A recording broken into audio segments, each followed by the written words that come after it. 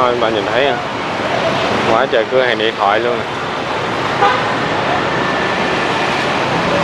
Thôi hơi à. và ông ta nhìn vô đây đó là khách sạn. Mặt tiền của khách sạn à, là ở đường Trần Bình Trọng.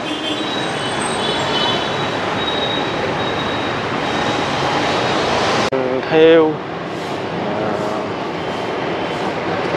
à, em thấy mấy cô chú anh chị à, ở xa đến Sài Gòn ở xa về Sài Gòn đó hay ghé mua những bức tranh về hình thiên nhiên à, treo ở phòng khách hoặc là những cái à, à, tấm liễn để tặng người thân à, bạn bè. À, số 6 thì, à, thì bên kia là đáng lẽ là số 4 nhưng mà không thấy số 4 à, chúng ta đi vô cái hẻm số 6 này ha. Đường Cộng Hòa. Và nhìn qua bên đây đó là khách sạn. 5 sao khách sạn nico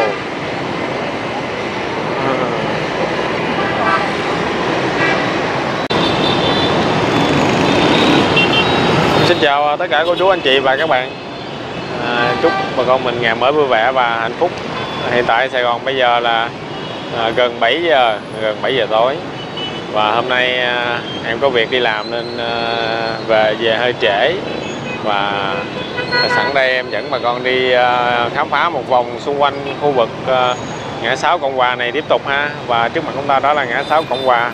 Và thẳng hướng cánh bên trái đó là đường Hồng Thập Tự à, năm xưa và cũng là đường à, Nguyễn Thị Minh Khai ngày nay. Và bên cánh phải là đường à, à Phạm Viết Chánh à, con đường nhỏ nhỏ à, đi đến à, đường Cống Quỳnh à, bệnh viện Từ Vũ à, và thẳng hướng vào đây là đường Cộng Hòa năm xưa và cũng là à, Nguyễn Văn Cừ ngày nay. À, và hướng bên cánh trái à, đó là đường Lý Thái Tổ. À, và hôm qua chúng ta có đi ngang qua cái nhà số 320 rồi một dọc cung đường à, kết duyên à, con đường in thiệp cưới rất là nhiều ở quận 10 à, ở Sài Gòn này. Và ngày hôm nay à, tiếp tục hành trình à, xuất phát từ à, khu vực à, à, Binh mùng Binh Cộng Hòa này ngã sáu Cộng Hòa này thì em sẽ dẫn bà con đi một dọc đường Hùng Vương. À, rồi chúng ta sẽ đi à, vòng qua à, cung đường Trần Phú Nguyễn Quang à, cung đường Trần Bình Trọng. À, hôm nay chúng ta đi giống như là một cái tam giác vậy đó. À, cánh bên đây là đường Trần Phú Nguyễn Hoàng nè. Đó. và đi ngang qua một cái khách sạn 5 sao à, đó là khách sạn Equatorio. Và cuối cùng chúng ta sẽ nhìn lại cái khách sạn à, Nico à, khách sạn 5 sao nổi tiếng ở khu vực quận 5 này à, quận nhất giao quận 5 này. Và trước mặt chúng ta đó là công viên à, Âu Lạc. À, một công viên nhỏ nhỏ nằm ở ngay cái mũi tàu đường Trần Phú rồi à, Hùng Vương. Và cái khuôn viên của cái tam giác ờ, cái tam giác ờ, Hùng Vương, Trần Phú, Trần Bình Trọng này. Thì cái khách sạn ờ, Equatorio chiếm cũng cỡ 1 phần 3 diện tích và cánh bên trái bên phải đây đó là đường Hùng Vương. Và chúng ta sẽ đi dọc theo đường Hùng Vương để đi đến đường Trần Bình Trọng và để xem cái khung cảnh xung quanh khách sạn Equa này như thế nào? Và sẵn đây để bà con uh, cùng nhìn ngắm lại cung đường ờ, đường xưa à, đường Hùng Vương đường Trần Bình Trọng đường Trần Phú. À, để à, khi các chị các bạn có dịp về Sài Gòn hoặc đến Sài Gòn à, muốn ở khách sạn năm sao à, Equatorio này thì cũng biết được quan cảnh xung quanh đây. À, và trước mặt chúng ta đó là à, khu đất của ông Hứa Bổn Hòa. À, xưa và bây giờ là nhà khách chính phủ và ngày nay nữa là để à, trống rồi à, không còn sử dụng nữa. À, không biết tương lai sẽ thành building gì đây. Và miếng đất này rất lớn và cái ngôi chợ Lê Hồng Phong chợ Hồ Thị Kỷ, chợ Campuchia hôm qua chúng ta đi đó, thì cũng nằm trong cái khu tam giác này luôn khu đất vàng này luôn và buổi chiều ở Sài Gòn bà con hay đi tập thể dục ờ, dạo mát ở các công viên à, thấy à, à, có rất nhiều à, ở đây tập thể dục rồi chơi đá cầu đá bóng à, cùng khám phá cung đường à, Hùng Vương này nha đó. đối với cung đường này à, nổi tiếng về cái gọi là dịch vụ điện thoại di động. À, ngày xưa bán rất là nhiều à, ở cái thời kỳ mà ờ, à, 10 năm về trước à, lúc mà điện thoại còn khan hiếm. Không phải khan hiếm mà gọi là còn xa xỉ. Thì khu này bán rất là nhiều luôn. Nhưng mà ngày nay thì à, bớt rồi. À, chúng ta nhìn bên kia đó là đường Trần Phú nè và cũng cung đường Trần Phú thì cũng có cái con hẻm à, hẻm số 6 à, thông ra à, thông ra cái hẻm số 19 bên đường Hùng Vương này luôn nè. Để một hồi nữa em có tiện hẻm sẽ đi vô đó để bà con cùng xem luôn ha. À, lúc trước cũng có một số anh chị comment đi hẻm số 4 mà em nhìn hoài sao không thấy hẻm số 4 uh, à, Hùng Vương đâu hết? Ủa hẻm số 4 Trần Phú đâu hết? Nên là ra em chưa có đi. Và ngày hôm nay uh, hôm nay có dịp để cô chú anh chị à, cùng nhìn lại luôn. À, ngày xưa ở cái đoạn Hùng Vương này nè à, rất là tối tăm và ngày xưa ở đây bán đĩa băng đĩa rất là nhiều luôn. À, cái đoạn Hùng Vương à, gần với à, Bùng Binh Cộng Hòa đó à, bán rất là nhiều băng đĩa. Nhưng mà ngày nay thì không còn nữa ha băng đĩa trở nên uh, uh, ít người sử dụng rồi. Trở nên lạc hậu rồi. Bây giờ người ta xài à, đám mây. À, đám mây với lại à, USB tốc độ truyền tải nhanh hơn và chứa được nhiều hơn. Và công viên này lúc Tết cũng bán rất là nhiều hoa rồi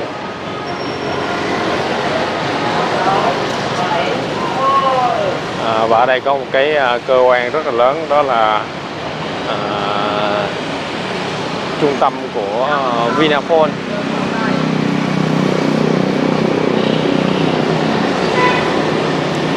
À, chúng ta đi tới một tí nữa là à, đến những cái cửa hàng dịch vụ à, à, điện thoại di động. À, rất là nhiều luôn.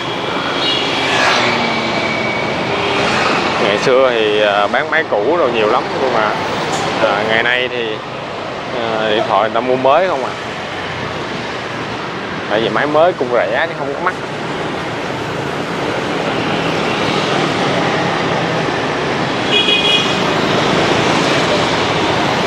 À, đó bạn nhìn thấy không? Quá trời cửa hàng điện thoại luôn. à. Apple Quang Nguyên rồi à, à, Viễn Tinh rồi số 9 Mobile. À, tất cả những cửa hàng này đều bán điện thoại di động. Cũ lẫn mới ha.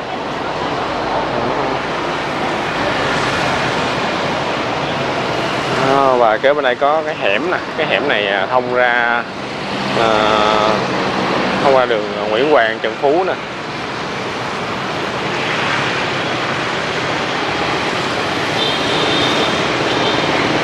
Đó, để xíu nữa mình sẽ đi à, thông ra hẻm này thử xem sao.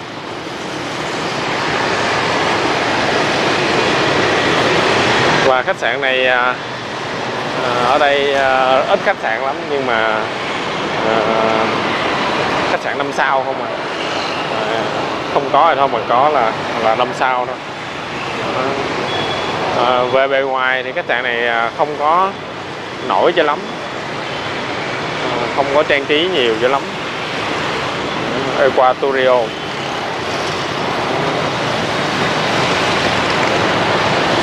à, và nhìn bên cánh phải thì có cái à, à, trung tâm viễn thông à, của Vinaphone. À, Vinaphone là mạng lớn nhất ở Việt Nam. Cái mạng đại diện cho Việt Nam luôn. Ở Việt Nam thì có Vinaphone, Viettel Mobile Phone rồi à, à, mấy mạng nhỏ nhỏ khác nữa.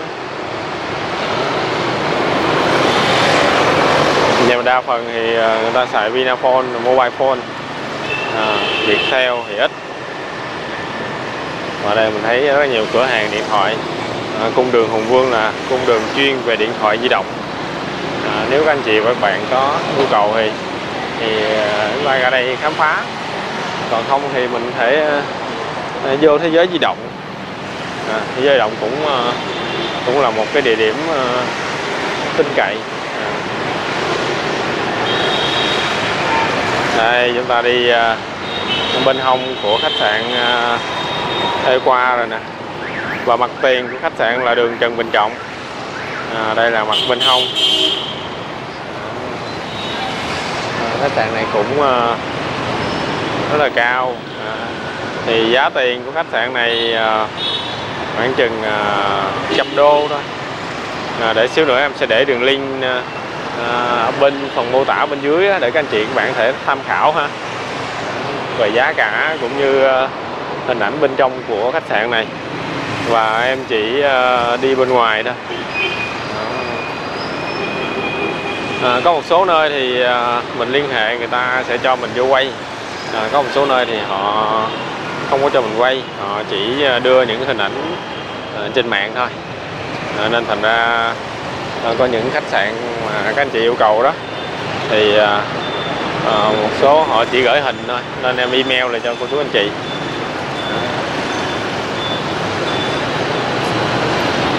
Đó, và chúng ta nhìn bên cánh phải đó là đường Trần Bình Trọng. Mình đi thẳng vô cái cái đường Trần Bình Trọng này thì sẽ đi vô cái chợ Lê Hồng Phong chợ Hồ Thị Kỷ luôn đó. À, khu ăn uống. Đó, nếu chúng ta ở khách sạn ở đây thì thì mình có những cái địa điểm à, à, dạo quanh như thế này. Thì so với ở khu vực à, à, quận nhất thì cái view của nó không được sang trọng và à, bắt mắt cho lắm. Nhưng mà dù sao thì ở đây à, cũng là nơi gắn liền với à, tuổi thơ của chú anh chị. Thì chúng ta muốn ở đây thì, thì để ôn lại ký ức ngày xưa thì mình cũng có cái để tham khảo nè số hình ảnh ở đây và thẳng lên kia là đường Bê Ký ờ, và cũng là đường Lê Hồng Phong ngày nay. Và ngày xưa cũng là bến xe miền Đông đó. Cách đây ờ, vài trăm mét thôi à, ờ, mình nhìn lại cung đường mình vừa đi qua ha.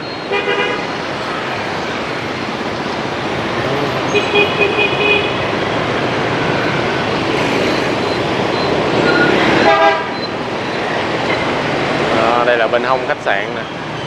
À, chúng ta sẽ à, đi một đoạn nữa và chúng ta sẽ vòng qua đường Nguyễn Hoàng Trần Phú. Và con đường này là đường Trần Bình Trọng đây là giao lộ Trần Bình Trọng với Hồng Hồng Vương. À, con đường này chuyên về những cái à, đèn xe kiến xe. Ừ. Con đường của trang trí xe hơi. À, và chúng ta nhìn vô đây đó là khách sạn mặt tiền của khách sạn là ở đường Trần Bình Trọng.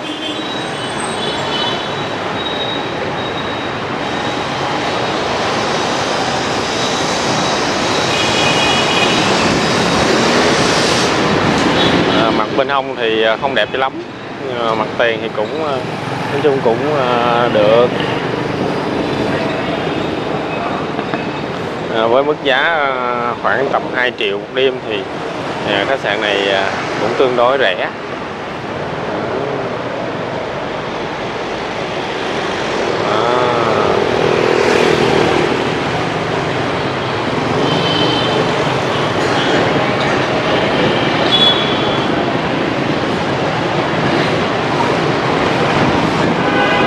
Và cái sảnh bên đây nữa nè. Mà khách sạn này cũng yên tĩnh không có ồn ào.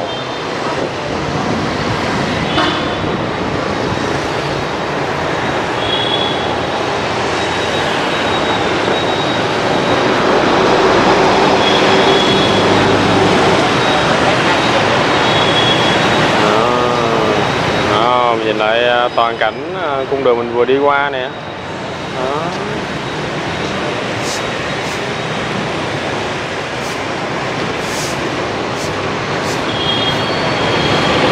Ờ, và mặt tiền ờ, đối diện khách sạn ờ, là những ngôi nhà những cửa hàng dịch vụ làm xe.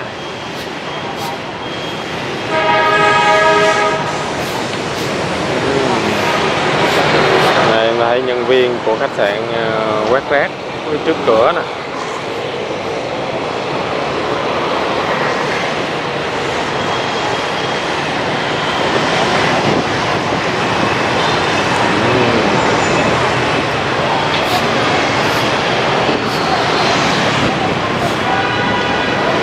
rồi chúng ta tiếp tục. À, đi bên hông à, bên cánh Hùng Vương với ở ô, bên cánh Trần Phú.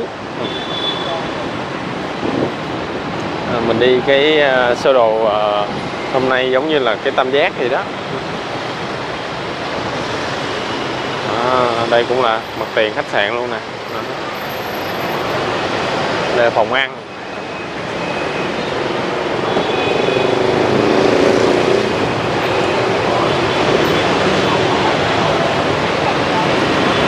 Rồi chúng ta đến đây là giao lộ của Trần Phú và Trần Bình Trọng. À, Nếu đi thẳng Trần Bình Trọng này chúng ta sẽ đi ra bến Hàm Tử. À, Và à, mình đi lại một tí nữa là à, có quán cháo rồi à, à, cơm sườn, cơm tấm về đêm. À, Cháo thì à, có cháo mực. À, Cháo mực ở 47 Trần Bình Trọng. Rồi cháo cá ở hẻm 174 à, Trần Bình Trọng rồi phải à, và cái đường à, Nguyễn Hoàng năm xưa. À, theo thẳng hướng này mình sẽ đi à, về à, à, chợ An Đông.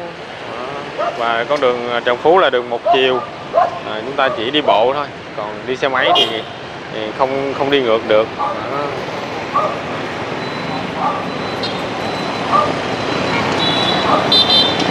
À, và xuôi chiều mình sẽ đi về à, ngã sáu Cộng Hòa lại nè và kế bên hông khách sạn thì có một cái bãi xe bãi gửi xe.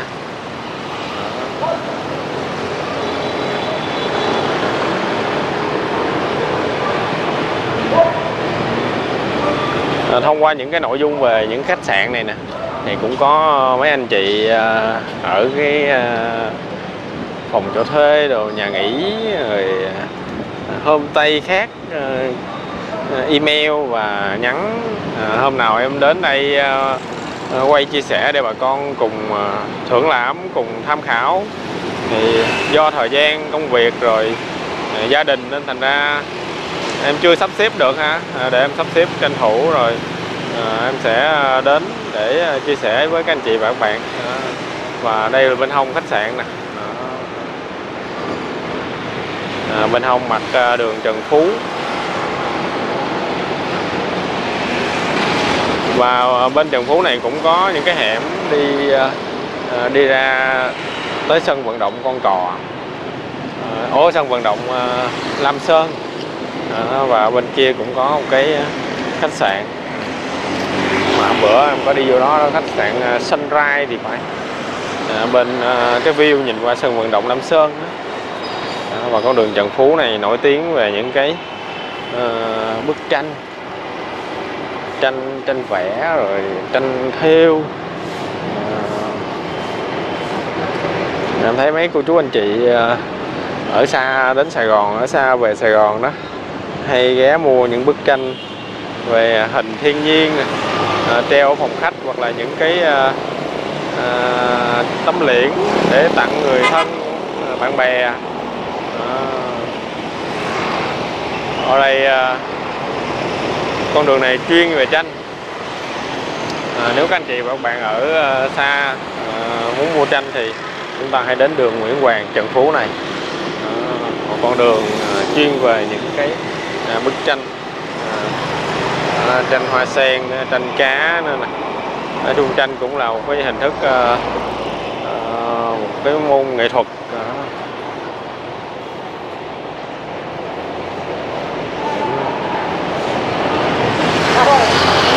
à, rất là nhiều tranh luôn các chị thấy không? Đó.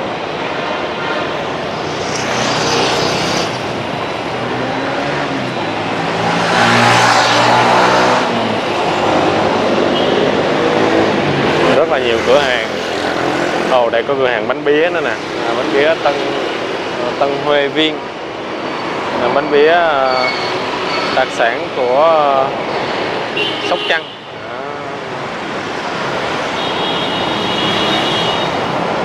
À, ngoài ra thì có rất là nhiều à, à là nhiều cái à, cửa hàng bán tranh. À, không biết từ bao giờ con đường Nguyễn Hoàng này trở nên à, chuyên về những cửa hàng tranh như thế.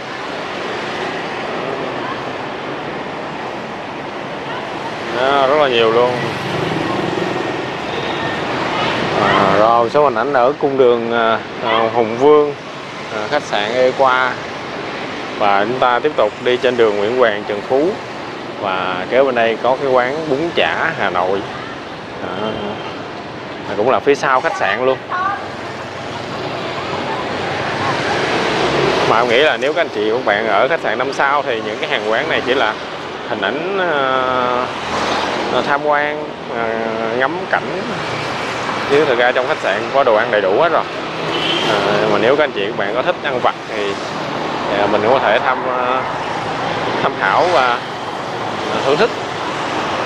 À, và ở đây nó thấy có cái hẻm số hẻm số 6 hẻm số 6 thì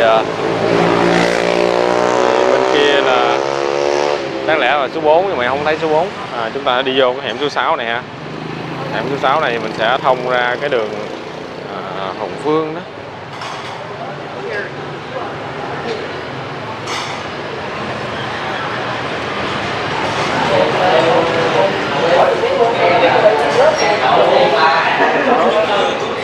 À.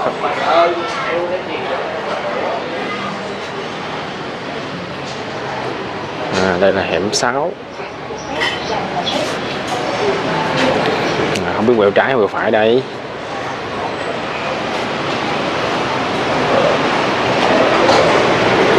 à, quẹo phải. À, và hướng bên trái là là hẻm cùng à.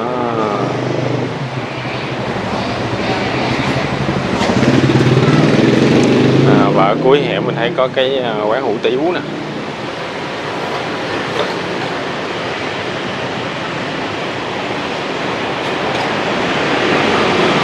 À, hủ tiếu gõ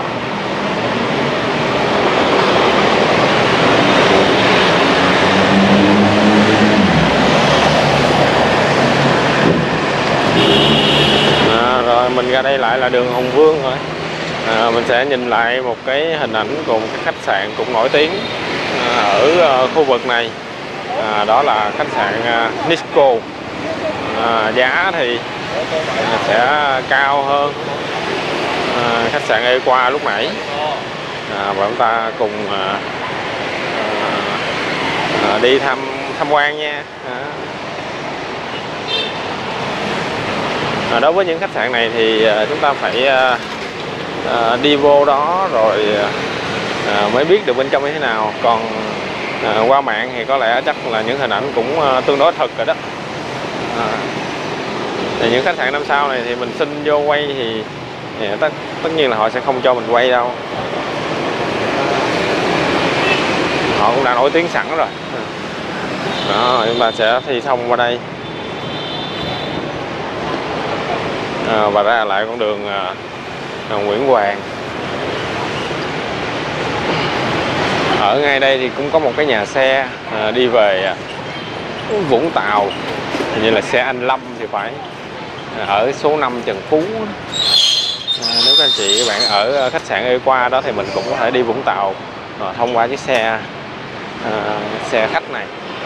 Ở số 5 Trần Phú ở đây thì cũng có mấy cái à, biệt thự xưa xưa đó đó. nè. Đó, cái hẻm à, số 5 này nè ngay biệt thự này nè. À, là nhà xe anh Lâm nè. Con này là hẻm số 3 à, đây là số 3 còn số 5 là trên đây. Đó. Đó, số thông tin chia sẻ cùng các anh chị và các bạn. Rồi đó nhà xe này nè rồi chúng ta sẽ quay lại khu vực ờ, à, binh, binh Cộng Hòa. Rồi mình sẽ đi à, qua đường à, Cộng Hòa Nguyễn Văn Cừ để mình nhìn lại cái giao diện khách sạn uh, Nisco này như thế nào.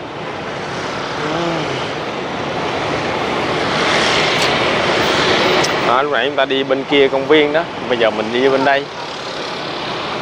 À, bên kia là đường Hùng Vương nè. Ở đây thì cũng có ờ, mấy quán cà phê. Ờ, ngồi cũng mát mẻ.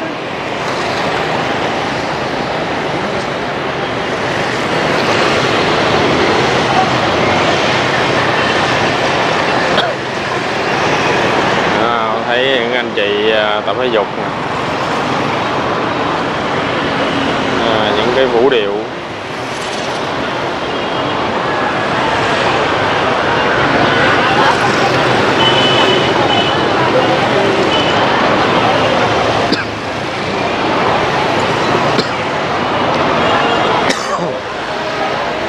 Và bên đây cũng thấy có cái quán nhậu số 1 Trần Phú à, rất là lớn luôn rất là nhiều món nhiều à, nhiều à, người phục vụ à.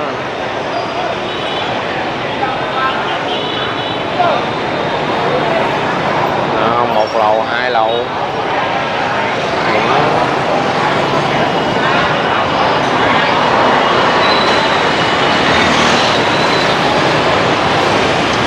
Lúc trước có một quán Thủy Tiên nữa nhưng mà quán Thủy Tiên này đi dẹp rồi.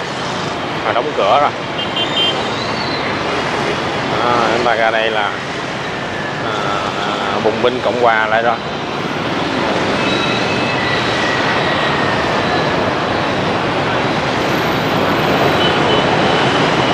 À, và sau video à, bùng binh cộng hòa này chúng ta sẽ khép lại ở khu vực này và mình sẽ à, đi qua một cái à, khu mới và em mời bà con tiếp tục tham gia theo dõi nha. Khu này mình cũng có đi à, đường xưa rồi à, con đường ẩm thực rồi à, một vài khách sạn cho để bà con tham khảo rồi. Tuy nhiên ở đây cũng có vài khách sạn rất là lớn. Ô rất là cũng có khách sạn bình dân ngoài những khách sạn năm sao thế này đây là khuôn viên của trường à, Petrucci ký và trong khuôn viên có nhà sách Nguyễn Văn Cường.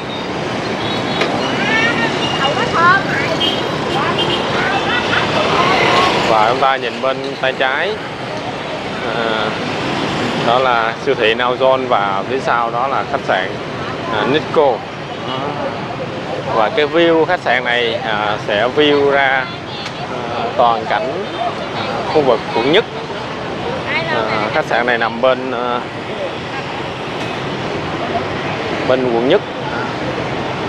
Tuy là một con đường à, nhưng mà nó tới hai quận. À, à, con đường Nguyễn Văn Cừ này một bên bên chúng ta đang đi đây là à, quận 5 và à, bên kia là quận nhất.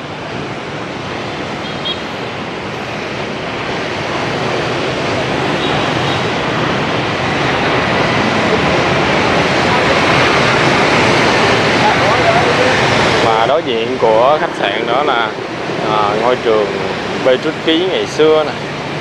À, không biết ngày xưa anh chị học phòng nào ha cô chú mình học phòng nào?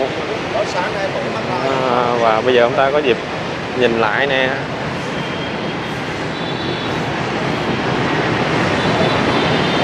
À, những dãy phòng vẫn như xưa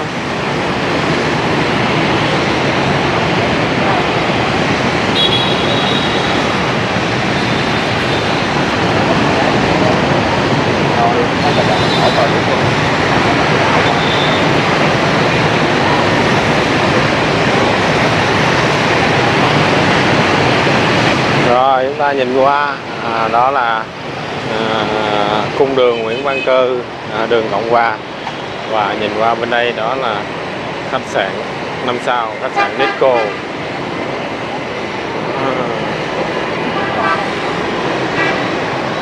à, ngược lại với sự à, yên tĩnh của khách sạn à, Equatorio thì khách sạn Nico này à, cũng không kém phần à, nhộn nhịp à, thấy à, phía sau cái à, cái dãy à, siêu thị. À, thì đó là khách sạn Nico. À, Hotel Nico Sài Gòn. Rất là cao luôn. À, phía trước là siêu thị Lotte. Ủa, có cái rạp chiếu phim à, Lotte Cinema.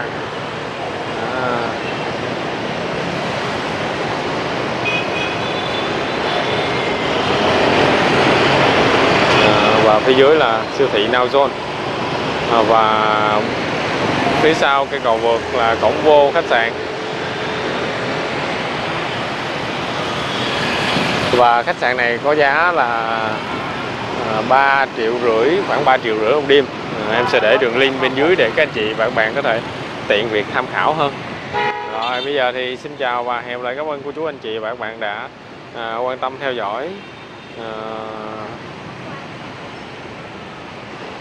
và để tiện việc theo dõi lại video thì các anh chị phải đăng ký và à, bấm vào hình cái chuông để khi em có video mới thì à, sẽ xuất hiện trên màn hình à, vi tính à, màn hình điện thoại của cô chú anh chị.